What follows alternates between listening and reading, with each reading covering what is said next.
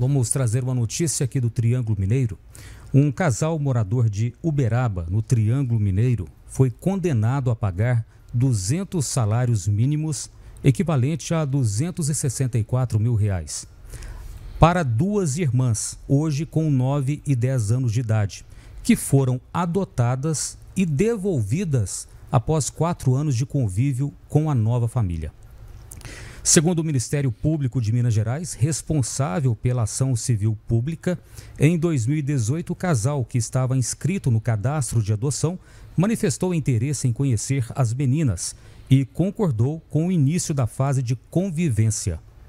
Depois de quatro meses, manifestou a intenção de receber as crianças em definitivo. Assim, em novembro do mesmo ano, as irmãs, na época com 4 e 5 anos, foram entregues à guarda do casal, que em 2021 se mudou para Uberaba. Em junho de 2022, após quatro anos de convívio com as crianças e com o processo já em fase de anúncio da sentença, o casal desistiu da adoção e manifestou o desejo de, de devolver as meninas, sob o argumento de que não foi possível a criação de vínculos entre as partes.